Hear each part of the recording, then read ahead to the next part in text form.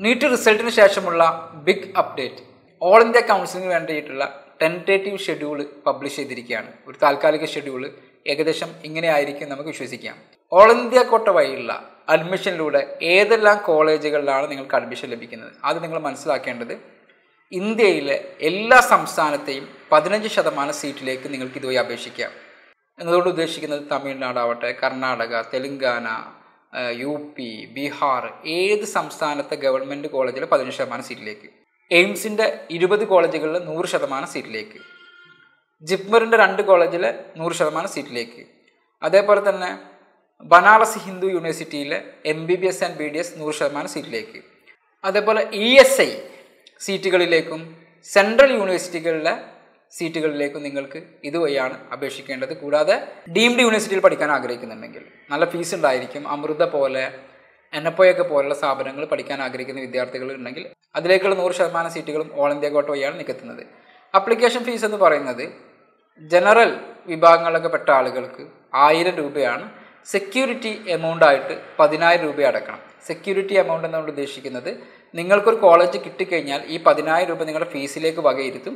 കിട്ടിയിട്ടില്ലെങ്കിൽ നിങ്ങൾക്കത് റീഫണ്ടബിൾ ആണ്. അതിന് ചില ക്രൈറ്റീരിയകളുണ്ട് എന്താണെന്നുള്ളത് നമ്മൾ പിന്നീട് പറയാം. അതേപോലെ എസ് സി എസ് ടി ഒക്കെ കാൻഡിഡേറ്റ്സിനാണെങ്കിൽ അഞ്ഞൂറ് രൂപയാണ് രജിസ്ട്രേഷൻ ഫീസ് അതുകൂടാതെ അയ്യായിരം രൂപ അവർക്ക് ഇതേപോലെ തന്നെ സെക്യൂരിറ്റി ഡെപ്പോസിറ്റ് ഉണ്ട്.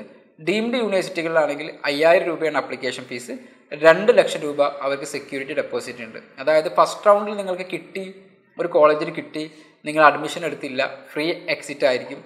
സെക്കൻഡ് റൗണ്ടിൽ നിങ്ങൾക്ക് ഒരു കോളേജിൽ കിട്ടി നിങ്ങൾ അഡ്മിഷൻ എടുത്തിട്ടില്ലെങ്കിൽ നിങ്ങളുടെ ഈ സെക്യൂരിറ്റി ഡെപ്പോസിറ്റ് നഷ്ടപ്പെടും. അതാണ് സെക്യൂരിറ്റി ഡെപ്പോസിറ്റിന്റെ അവസ്ഥ മൂന്നാമത്തെ റൗണ്ടിൽ നിങ്ങൾക്ക് എന്ത് ചെയ്യാം? വേണമെങ്കിൽ രജിസ്റ്റർ ചെയ്യാം. ഓക്കെ അപ്പോൾ അതിന്റെ ബേസിക് ആയിട്ട് ഇൻഫർമേഷൻ കിട്ടിയല്ലോ. ഇതിന്റെ ഷെഡ്യൂൾ എങ്ങനെയാണെന്ന് നോക്കാം. ഇതിന്റെ സീറ്റ് മെട്രിക്സ് ആണ് ആദ്യം ഇവർ പബ്ലിഷ് ചെയ്യാൻ ഉദ്ദേശിക്കുന്നത്. July twentieth to twenty first വരെ ടു ഡേയ്സിന്റെ ഇടയിൽ സീറ്റ് മെട്രിക്സ് പബ്ലിഷ് ചെയ്യും. അതായത് ഏതൊക്കെ കോളേജുകളിൽ ഓരോ category base O B C S C S T ഒക്കെ ബേസിൽ എത്ര സീറ്റുകളാണ് ഉള്ളത് എന്നുള്ളത് അവർ പബ്ലിഷ് ചെയ്യും. അതിനുശേഷം നിങ്ങൾക്ക് അന്ന് തന്നെ ട്വന്റീത്ത് മുതൽ ട്വന്റി ഫിഫ്ത്ത് വരെയുള്ള സമയത്തിനിടയ്ക്ക് നിങ്ങൾക്ക് ഈ ഒരു അപ്ലിക്കേഷൻ ഫീസ് നിങ്ങളുടെ ഓൺലൈൻ ബാങ്കിങ്ങോ അല്ലെങ്കിൽ നിങ്ങൾ ഡെബിറ്റ് കാർഡുകളോ ക്രെഡിറ്റ് കാർഡൊക്കെ വെച്ചിട്ട് നിങ്ങൾക്ക് എന്ത് ചെയ്യാം? രജിസ്റ്റർ ചെയ്യാം. ബേസിക് നിങ്ങളുടെ നീറ്റിന്റെ അപ്ലിക്കേഷൻ നമ്പറും അതേപോലെയുള്ള ബാക്കിയുള്ള കാര്യങ്ങൾ കൊടുക്കേണ്ട അതിന്റെ ഡെമോ വീഡിയോ നമുക്ക് ആ സമയത്ത് ചെയ്യാം. പിന്നീട് ചോയ്സ് ഫില്ല് ചെയ്യാൻ നിങ്ങൾക്ക് അഞ്ച് ദിവസമാണ്. രജിസ്ട്രേഷൻ ആറ് ദിവസമുണ്ട്. ചോയ്സ് ഫില്ലിംഗ് സ്റ്റാർട്ട് ചെയ്യുന്നത് ട്വന്റി ടു ജൂലൈ മുതൽ ട്വന്റി സിക്സ് ജൂലൈ വരെയുള്ള അഞ്ച് ദിവസങ്ങൾ. അപ്പോൾ അവിടെ നിങ്ങൾക്കൊരു അപ്പോൾ അവിടെ നോക്കുന്ന സമയത്ത് നിങ്ങൾക്കൊരു ചോയ്സ് ലോക്കിംഗ് കാണാം. ആ ചോയ്സ് ലോക്കിംഗ് നിങ്ങൾ വെറീഡ് ആവേണ്ട കാര്യമില്ല ഓട്ടോമാറ്റിക്കായിട്ട് സംഭവിച്ചോളും. പ്രോസസ്സിംഗ് സീറ്റ് അലോട്ട്മെന്റ് വേണ്ടി ടു ഡേയ്സ് എടുക്കും. ട്വന്റി സെവൻത്ത് ട്വന്റി എയ്ത്ത് വരെ. റിസൾട്ട് ട്വന്റി നയൻത്തിന് നിങ്ങൾക്ക് പ്രഖ്യാപിക്കും.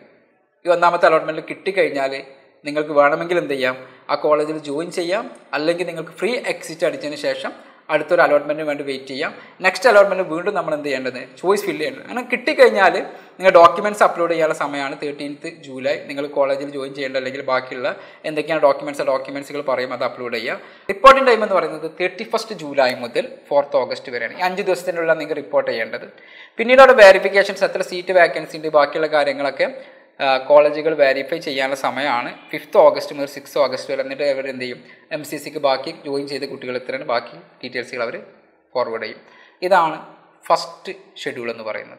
ഓക്കെ ഇതിൽ കിട്ടിക്കഴിഞ്ഞാൽ നിങ്ങൾക്ക് ജോയിൻ ചെയ്യണം നിർബന്ധമുണ്ടോ? ഇല്ല. നിങ്ങൾക്ക് വേണമെങ്കിൽ ഫ്രീ എക്സിറ്റ് അടിക്കാം. ഇത് ഓൾ ഇന്ത്യ കൗൺസിലിങ്ങിലാണ് കേരളത്തിലേക്ക് വരുമ്പോൾ അങ്ങനെയല്ല. കിട്ടിക്കഴിഞ്ഞാൽ നിങ്ങൾ ജോയിൻ ചെയ്യൽ നിർബന്ധമാണ്. അത് പ്രത്യേകം മനസ്സിലാക്കുക. ഇനി ഇതിന് ശേഷം ഇതിന്റെ സെക്കൻഡ് അലോട്ട്മെന്റ് നടക്കും. ഈ സെക്കൻഡ് അലോട്ട്മെന്റ് നടക്കുന്നത് സെവൻത്ത് ഓഗസ്റ്റ് ആണ് പറഞ്ഞിരിക്കുന്നത്. ഓക്കെ സീറ്റ് മെട്രിക്സ് അവർ ചെയ്യുക. സെവൻത്ത് ഓഗസ്റ്റ് മുതൽ എയ്ത്ത് ഓഗസ്റ്റ് വരെയാണ്. അപ്പോൾ ഇതിന്റെ ഇൻബിറ്റീവിനായിട്ട് തന്നെ കേരളത്തിന്റെ അഡ്മിഷൻസും അല്ലെങ്കിൽ ബാക്കിയുള്ള സംസ്ഥാനത്തിന്റെ അഡ്മിഷൻസൊക്കെ നടക്കാൻ ചാൻസ് ഉണ്ട്. ഓക്കെ ഒരു ഫസ്റ്റ് അലോട്ട്മെന്റ് ഓൾ ഇന്ത്യയിൽ കഴിഞ്ഞിട്ട് ആ ഒരു ഗ്യാപ്പിൽ എന്ത് ചെയ്യണം? ബാക്കിയുള്ള സംസ്ഥാനത്തിന്റെ അലോട്ട്മെന്റ് നടക്കണം. അതിനുശേഷമായിരിക്കും സെക്കൻഡ് അലോട്ട്മെന്റ് നടക്കുക. അപ്പോൾ നമുക്ക് സെവൻത്തിനാണ് പറഞ്ഞിരിക്കുന്നത്. അപ്പോൾ ഈ ഒരു സമയത്ത് തന്നെ ഇതിന് മുമ്പായിട്ട് കേരള റാങ്ക് വരണം. കേരളത്തിന് അലോട്ട്മെന്റുകളൊക്കെ നടക്കുന്നു പ്രതീക്ഷിക്കാം. അങ്ങോട്ടും ഇങ്ങോട്ടൊക്കെ ഈ ഡേറ്റുകൾ മാറാനുള്ള ചാൻസും ഉണ്ട്. സെക്കൻഡ് അലോട്ട്മെന്റ് സ്റ്റാർട്ട് ചെയ്യുന്നത് നയൻത്ത് ഓഗസ്റ്റ് മുതൽ ഫോർട്ടീൻത്ത് ഓഗസ്റ്റ് വരെയുള്ള ആറ് ദിവസങ്ങളിലാണ്. ടെൻത്ത് മുതൽ ഫിഫ്റ്റീൻത്ത് വരെയുള്ള ആറ് ദിവസങ്ങൾ നിങ്ങൾക്ക് എന്ത് ചെയ്യാം? ഇതേപോലെ ചോയ്സ് ഫില്ലിംഗ് കൊടുക്കാം. പ്രത്യേകം ശ്രദ്ധിക്കുക കേരളത്തിൽ നിങ്ങൾ ഒരു തവണ ചോയ്സ് ഫില്ലിംഗ് കൊടുത്താൽ സെക്കൻഡ് അലോട്ട്മെന്റ് ചോയ്സ് ഫില്ലിംഗ് കൊടുക്കേണ്ടതില്ല. എന്നാൽ ഇവിടെ അങ്ങനെയല്ല. സെക്കൻഡ് ടൈമിൽ നിങ്ങൾ വേറെ ചോയ്സ് ഫില്ലിംഗ് കൊടുക്കണം. അപ്പോൾ രജിസ്റ്റർ ചെയ്യാൻ വേണ്ടി വീണ്ടും ഫീസ് അടക്കേണ്ടതുണ്ടോ? ഇല്ല. രജിസ്റ്റർ ചെയ്യാൻ വേണ്ടി അവർ ഫീസ് അടക്കേണ്ടതില്ല. സീറ്റ് അലോട്ട്മെന്റ് സിക്സ്റ്റീൻത്ത് ഓഗസ്റ്റ് മുതൽ സെവന്റീൻത്ത് ഓഗസ്റ്റ് വരെയാണ്. റിസൾട്ട് എയ്റ്റീൻത്ത് ഓഗസ്റ്റിന് പബ്ലിഷ് ചെയ്യും. അതേപോലെ നിങ്ങൾക്ക് അതിന് ഡോക്യുമെന്റ് അപ്ലോഡ് ചെയ്യുന്നത് നയന്റീൻ ഓഗസ്റ്റ് ആണ്. റിപ്പോർട്ടിംഗ് ടൈം എന്ന് പറയുന്നത് ട്വന്റീത്ത് മുതൽ ട്വന്റിയത്ത് വരെയുള്ള ഒൻപത് ദിവസങ്ങൾ എന്ത് ചെയ്യാം? നിങ്ങൾക്ക് റിപ്പോർട്ട് ചെയ്യാം. ഇനി ശ്രദ്ധിക്കുക ഇവിടെ നിങ്ങൾക്ക് ഒരു കോളേജിൽ കിട്ടി നിങ്ങൾ പെർമനന്റ് ജോയിൻ ചെയ്ത് കഴിഞ്ഞാൽ ഫസ്റ്റ് അലോട്ട്മെന്റിലാവട്ടെ സെക്കൻഡ് അലോട്ട്മെന്റിലാവട്ടെ പെർമനന്റ് ജോയിൻ ചെയ്ത് കഴിഞ്ഞാൽ മറ്റുള്ള പിന്നീട് വരുന്ന അലോട്ട്മെന്റുകളിലോ അല്ലെങ്കിൽ സ്റ്റേറ്റ് അലോട്ട്മെന്റുകളിലോ പങ്കെടുക്കാൻ സാധിക്കില്ല. അത് പ്രത്യേകം ശ്രദ്ധിക്കുക. ഇനി നിങ്ങൾക്ക് അഡ്മിഷൻ കിട്ടി എന്നിട്ട് നിങ്ങൾ അഡ്മിഷൻ എടുത്തിട്ടില്ലെങ്കിൽ നിങ്ങളുടെ ആ സെക്യൂരിറ്റി എമൗണ്ട് അതായത് അയ്യായിരം രൂപയോ അല്ലെങ്കിൽ പതിനായിരം രൂപയോ രണ്ട് ലക്ഷം രൂപയോ നഷ്ടപ്പെടാം. മൂന്നാമത് വരുന്ന മോപ്പപ്പ് അലോട്ട്മെന്റുകൾ നിങ്ങൾക്ക് പങ്കെടുക്കുകയും ചെയ്യാം. ക്ലിയർ ആയി എന്ന് വിചാരിക്കുന്നു. ഇതാണ് ഫസ്റ്റ് സെക്കൻഡ് ടേം അലോട്ട്മെന്റുകൾ മോപ്പപ്പ് അലോട്ട്മെന്റ് സ്റ്റാർട്ട് ചെയ്യുന്നത്. ഇതിനൊക്കെ ശേഷം മോപ്പപ്പ് അലോട്ട്മെന്റ് സ്റ്റാർട്ട് ചെയ്യുന്നതിന്റെ ഡേറ്റ് എന്ന് പറയുന്നത് തേർട്ടി ഫസ്റ്റ് ഓഗസ്റ്റ് മുതൽ ഫോർത്ത് സെപ്റ്റംബർ വരെയുള്ള അഞ്ച് ദിവസങ്ങളിലാണ്. First September to fifth September വരെ നിങ്ങൾക്ക് ചോയ്സ് ഫില്ലിംഗ് ആണ്. സിക്സ്ത് ടു സെവൻത്ത് വരെയുള്ളത് പ്രോസസ്സിംഗ് ആണ്. റിസൾട്ട് വരുന്നത് എയ്റ്റ് സെപ്റ്റംബറിനാണ് വെരിഫിക്കേഷൻ നയൻത് സെപ്റ്റംബറിനാണ് റിപ്പോർട്ടിംഗ് ടെൻത്ത് ടു എയ്റ്റീൻത്ത് വരെയുള്ള നയൻ ഡേയ്സ് ആയിരിക്കും. പിന്നീട് നയന്റീൻത്ത് ടു ട്വന്റീൻത്ത് വരെ ടു ഡേയ്സിൽ കോളേജുകളിലേക്കുള്ള വെരിഫിക്കേഷൻസ് ബാക്കിയുള്ള കാര്യങ്ങൾ എം സി സി അറിയിക്കുകയാണ്. പിന്നീട് സ്ട്രേ വേക്കൻസി ആണ്. സ്ട്രേ വേക്കൻസിയിൽ ചെറിയൊരു കൺഫ്യൂഷൻസ് ഉണ്ട്. കാരണം ഇതിൽ ഷെഡ്യൂൾ കാണിക്കുന്നത് പുതിയ രജിസ്ട്രേഷനെ കാണിക്കുന്നുണ്ട്. കഴിഞ്ഞ വർഷത്തിൽ അങ്ങനെ ന്യൂ രജിസ്ട്രേഷൻ സ്ട്രേ വേക്കൻസിയിൽ ഇല്ലായിരുന്നു. അപ്പോൾ അതിന്റെ അപ്ഡേഷൻസ് ഇനി വരുന്ന സമയത്ത് നിങ്ങൾ അറിയിക്കാം. അപ്പോൾ ഇതുമായിട്ട് ബന്ധപ്പെട്ട സംശയങ്ങളുണ്ടെങ്കിൽ തീർച്ചയായിട്ടും നിങ്ങൾക്ക് വാട്സാപ്പ് ത്രൂ കണക്ട് ചെയ്യാം. പിന്നീട് നിങ്ങൾ നിർബന്ധമായിട്ട് അറിഞ്ഞിരിക്കേണ്ട ഒരു കാര്യം.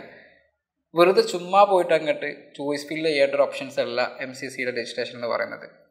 ആകെ എത്ര കോളേജുകളുണ്ട് എത്ര സീറ്റുകളുണ്ട് എങ്ങനെയൊക്കെയാണ് റിസർവേഷൻസ് നിങ്ങളുടെ റാങ്കിനനുസരിച്ച് നിങ്ങൾക്ക് കിട്ടാൻ ചാൻസ് ഉണ്ടോ എന്നെല്ലാം വളരെ വ്യക്തമായി പ്ലാൻ ചെയ്തതിന് ശേഷം ഒരു ലിസ്റ്റ് നിങ്ങൾ ക്രിയേറ്റ് ചെയ്യണം.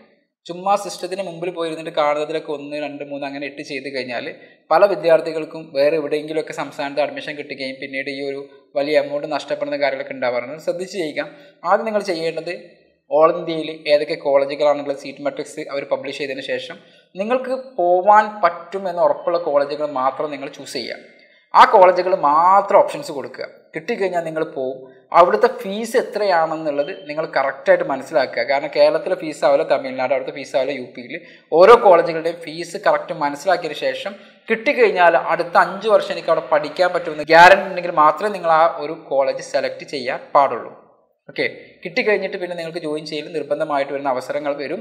ചിലപ്പോൾ അവൾ അഡ്മിഷൻ എടുത്തു കഴിഞ്ഞാൽ കേരളത്തിൽ കിട്ടാത്ത ബുദ്ധിമുട്ടുകളൊക്കെ വരും. അപ്പോൾ നിങ്ങൾക്ക് ഇതുമായിട്ടൊരു ബന്ധപ്പെട്ട് ഒരുപാട് കൺഫ്യൂഷൻസ് ഉണ്ടാകുന്ന ഉറപ്പാണ്.